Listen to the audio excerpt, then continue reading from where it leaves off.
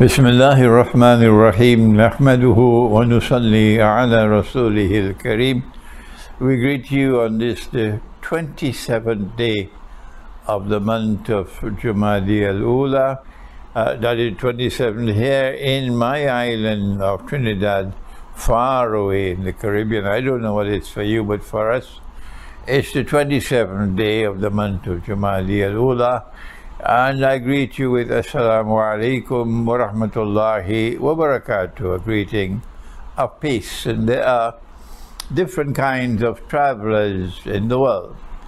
There are those who travel expecting to come back soon. There are those who travel knowing that they will not come back after a long time. There are those who travel not knowing if they'll ever be able to come back. But every one of us is a traveler who will one day travel never to return. And that is a certain travel.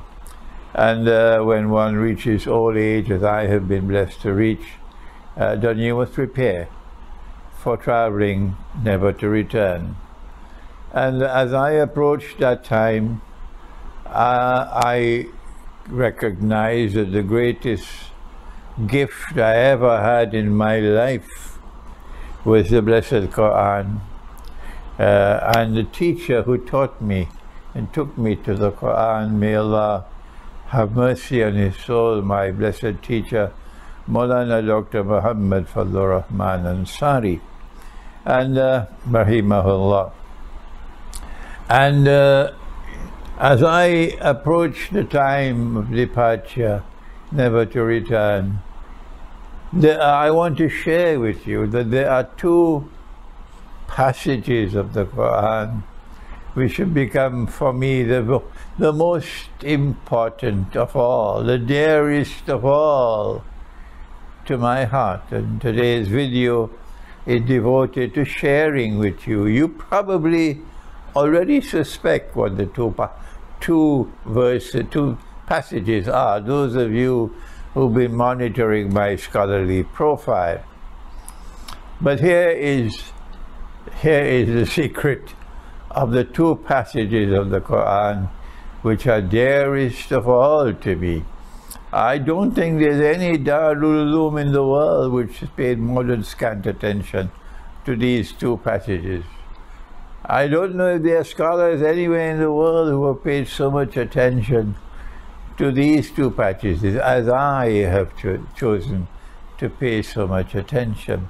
And they both are passages of the Quran which pertain to the Quran. One is a passage pertaining how to recite the Quran, and the other is a passage pertaining to how to study the Quran. There you are. You probably already know the two passages, but let me tell you one more time. The first is a passage in uh, Surah Al-Qiyamah which has taught me the strategic importance of reciting the Quran if I want to study the Quran. That you cannot study the Quran unless you are reciting the Quran. No one ever taught that to me. No teacher ever taught that to me. I found it myself in the Quran. And if you want to recite the Quran in order to study the Quran, you have to recite it the way Allah recited it. And the passage which helped me to, to write my book, The Quran and the Moon, which might turn out to be the most important book I've ever written in my life, The Quran and the Moon. A book that you need to read over and over and over again. The most important passage teaching me how to recite the Quran, which led me to the entire system of time in Islam, sacred time, and how the recitation of the Quran is linked to the system of time, and that when you do this, you'll be able to save your heart from beating faster and yet faster, and, and perceiving time moving faster and yet faster, when all of mankind are stuck with that disease of perception of ever faster moving time, you will not. Your heart will be back to normal. Here is the passage, and it is in Surah Al-Hijr of the Quran. You will have to search for it. It's at the end of the surah. And Allah begins, and Allah never says, remember, never say Allah says and say, and then you say, A'udhu Billahi Min Shaitan because, because, because Allah Allah never says, A'udhu Billahi Min Shaitan Allah never says that. No, you are saying that. What you must say, Ba'ad billahi because you cannot recite the Quran without first saying A'udhu billahi minash shaitani rajim. I go for Salatul Juma and now all the time I hear the Imam on the minbar saying قال الله سبحانه وتعالى أعوذ بالله من الشيطان when أعوذ بالله من الشيطان Allah never says أعوذ بالله من الشيطان but they say it on the minbar all the time so بعد أعوذ بالله من الشيطان الرجيم وقل إني أنا النذير مبين tell them O Muhammad tell them that I am a warner. I have been sent as a warner to warn. And when I warn, I do so in a manner which is plain and clear. What is the warning? كما أنزلنا على المقتسمين The warning is sent down to a people who are known as Al-Muqtasimin. Warn them, O Muhammad Who are Al-Muqtasimin? Let the Quran answer. Why should you answer? We don't listen. We're not listening to you. We want to hear what Allah says. Who are the Muqtasimin? الذين uh, uh, what is it? Uh, um, I've forgotten now وقل إني أنا نذير مبين كما أنزلنا على المقتسمين الذين um, I've forgotten the ayah now. They're those who break up the Quran and deen into pieces. You see what happens when shaitan intervenes and you forget? You break up the Quran into a deen. For Rabbika, O Muhammad, I take an oath by your Rabb. I will I will question all of them on Judgment Day عما كانوا يعملون for what they have done to this Quran. What have they done to this Quran? How did they break up this Quran into bits and pieces? Answer, it is in the recitation of the Quran. Allah has separated the Quran into, into surahs. A surah means a wall. And he's, he's separated the Quran into surahs for the purpose of recitation, not for the purpose of study. And this is what he says in the Quran in Surah Al-Isra, Quran and فَرَقْنَاهُ لِتَكْرَهُ عَلَى النَّاسِ عَلَى مُكْثٍ that he has separated the Quran into surahs for the purpose of recitation, ala mukthin, over intervals of time. And so we have no right. We will be making a tremendous mistake in breaking up the Quran further into other parts and pieces. And so when we are reciting the Quran, every day we are reciting a juz of the Quran in order to complete the Quran in a lunar month. Our critics have more important things to do. Leave them. We are the ones who say you must recite the Quran one juz at a time every day. In order to khatam the Quran every month. We are saying that let the critics go their way. So if you are reciting the Quran and you want to complete a juz every day, what the Quran is saying is never leave any surah of the Quran incomplete. You must always complete the surah for your juz of the day.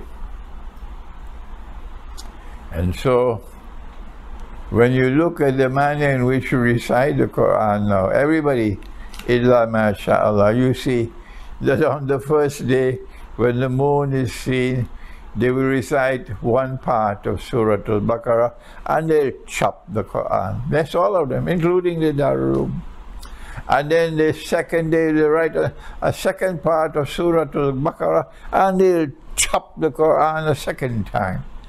And then on the third day they'll finish Surah Al-Baqarah and do part of Surah Al-Imran and so on.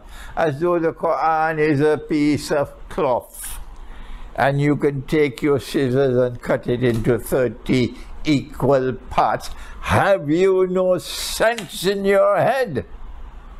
that you follow shaitan who cut the Quran into, it must have been shaitan himself who chopped the Quran into 30 equal parts. Hmm? For you who will listen to me and now stop that nonsense, that sinful thing, remember what Allah says. فَرَبِّكَ لَنَسْأَلَنَّهُمْ أَجْمَعِينَ I'm going to question every single one of them. amma kanu ya'malun for what they have done to this Quran. So this passage of the Quran in Surah Al-Hijr, this is the passage par excellence which has helped me, alerted me to recite the Quran the way Allah recited it. And if you are reciting the Quran the way Allah recited it, then this Quran can protect you in Akhirul Zaman. Number two, this Quran can now help you to be able to study the Quran as it ought to be studied. So this is the first passage. That is for me the most important passage of all in the Quran, in Surah Al-Hijr. I commend it to you. And now we turn to the second passage, Bismillah. And it is in Surah Al-Waqiyah. And I had recited it so many times, so many times, until one day I was in a jeweler's shop in Mombasa. And the owner of the shop, the jeweler, had gone out and was late in coming back, and his son was keeping my company. And the son then asked me a question pertaining to this passage of the Quran. And that triggered me off, what nothing had done before to go back and study this this passage of the Quran, and then recognize, I then recognize that this is a passage pertaining most of all, most strategically important of all, to methodology for study of the Quran. That was methodology for recitation of the Quran, and this is methodology for the study of the Quran. And Allah's Messenger said, He said, I leave behind me two things. He didn't say three, he didn't say four, he only said two. The Sunni and the Shia could continue to fighting over what is the second thing, but everyone agree the first thing is the Quran. Those who are fighting over there, they don't bother with the Quran. They're fighting over what is the second thing, but they're not bothering about the first one the Quran. If they were bothering about that, Iran would not be still stuck in bogus money today. So tell me, if the Quran is the most important thing I'm leaving behind me, if you follow this Quran, you'll never go astray. If that is what he said, then is it not important for us to devote attention to the study of the Quran? And it is this passage more than any other which helped me to understand my teacher, Maulana Dr. Muhammad Fazl Rahman Ansari. The most important thing he taught me was methodology for the study of the Quran. As a final year student at the Aleemiyah Institute of Islamic Studies in 1969-1970, we had to study as a book of uh, Usul al-Tafsir or methodology for the study of the Quran. Uh, the book written by uh, Sheikh uh, Waliullah Dehlawi, uh, and the name of the book was Al-Fawzul Kabir fi Usul al-Tafsir. And uh, you can study that book left from the beginning to the end and you will not find what my teacher taught me on methodology for the study of the Quran.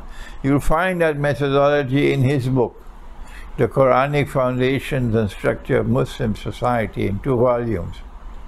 And that two volumes is part of my set of books that I, I sell as a set of books. But you will also find it simplified in my book, Methodology for the Study of the Quran. And it is this passage more than any other which stands at the very heart of methodology for the study of the Quran. My profile as a scholar of the Quran, my profile is based most of all on this passage of Surah Al-Waqiyah. And here it is, بعد أعوذ بالله من الشيطان الرجيم فلا أقسم بمواقع النجوم and I take an oath by the positions in which the stars are located. وإنه لقسم لو تعلمون عظيم and this is no ordinary oath or qasam. This is an absolutely supremely important oath or qasam. Allah is saying, إنه لقرآن كريم. This oath, this oath about the positions in which the stars are located this is applicable to the Quran. وَإِنَّهُ لَقُرْآنٌ كَرِيمٌ That this is applicable to the Quran, which is a noble Quran. But listen, listen, listen, fi kitabin maknoon. The Quran, which we are referring to, is located in a kitab. The Quran is not the Kitab. The Kitab contains the Quran. The Quran is a recitation. A recitation. That's the meaning of the word Quran. And this Quran or this recitation is located in a kitab, a book which is protected.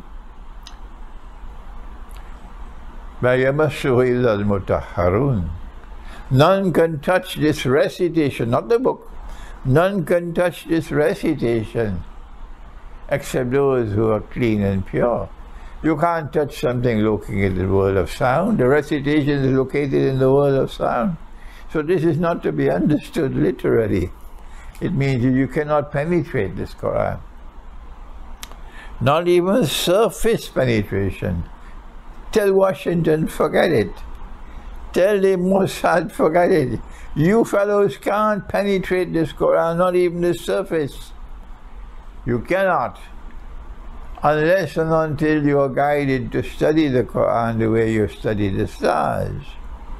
And your heart is pure and clean, meaning it's pure and clean in, in its relationship with Allah. It can't be pure and clean its relationship with Allah when you constantly tell lies you shamelessly tell lies. You are a people who have no morality in your hearts at all. You have only lies on your lips and lies in your heart. There are lies, and then there are great lies, and then there is 9 11. So, what is the passage? That you the Lord God, Allah Ta'ala is saying, I take an oath by the positions in which the stars are located. The implication is that the verses of the Quran are like the stars in the sky. Let me repeat that. The verses of the Quran is like the stars in the sky. The dogs can keep on barking. This caravan will move on. The verses of the Quran are like the stars in the sky. You never study the stars in the sky for direction to know which way to travel, to be to turn for the Qibla, to which direction you travel in a desert to get out of the desert, which direction a ship should navigate to get to a port by studying one star. Remember, he put the star, وَبِالنَّجْمِ هُمْ يَهْتَدُونَ And he put the stars in the sky for us to be guided, direction, direction. And so you need to study the patterns in the sky. You need to study all the stars and see how they are interconnected and interrelated with each other. And that requires investigation. And that also requires for the Quran insight, a capacity to connect dots. And that comes only with nur in the heart. And so they can do what they want, they cannot penetrate this Quran. Forget it. But you, the young ones I'm leaving behind when I leave this world, you must remember, keep yourself clean. Turn away from zina. Never, never go down the road of zina. Turn away from telling lies. Let only truth come from your lips. Do not oppress others. Do not steal from others. Do not rob others. No. Earn your livelihood through your own effort. Always seek forgiveness from Allah. Be kind and be generous and be charitable. So that when you re recite the Quran and you study the Quran and Allah puts nur in your heart, you will get insight. And with that insight, you'll be able to connect the verses of the Quran the way you connect the stars in the sky in order to be able to get direction. And so I share with you this secret. These are the two passages of the Quran which are dearest of all to me in this last stage of my life. Thank you. Wassalamu alaikum wa rahmatullahi wa barakatuh.